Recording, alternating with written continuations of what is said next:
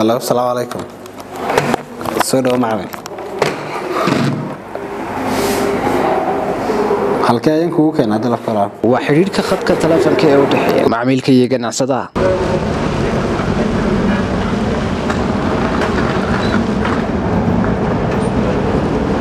cidhiidhiga iyo saxmadaha ka jira caasimadda somalilan ee magaalada hargeysa ayaa sababay inay dhalato hal abuurka ganacsiya noocana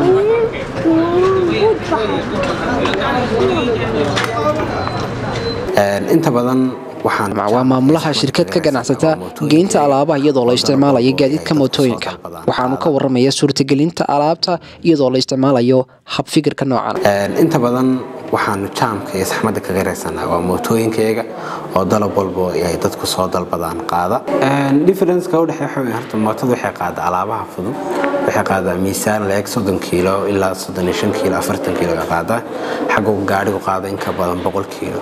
Laakiin mootada waxay kaga fiican tahay jaamkana way yaraysaa macmiishuna wakhtiga soo dalbadaan wakhti ku dhow ayaa dalabkii isla markaa. Waxaan ka xaqiijin karnaa isbedelkii shalay ahaa in gawaadhi iyo hawl iyo wakhti iyo kharash salmaan oo ah macmiil loogu adeego gaadiidka mootooyinka waxa uu ka mahadiyey fikirkan taas bedelkeeda waxaa hoosta ka xariiqay inuu ka raystay saxmadihii iyo sidoo kale agabkii ka daahi jiray waagii hore. Ka xaqiijin karnaa isbedelkii shalay ahaa in gawaadhi iyo hawl iyo wakhti iyo kharash badan kaaga baxo.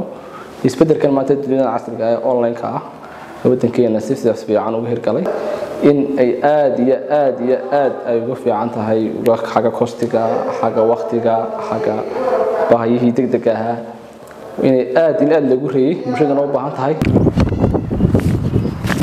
Isbedelada dunida ka taaba somalilan qaybteeda ayay ku leedahay.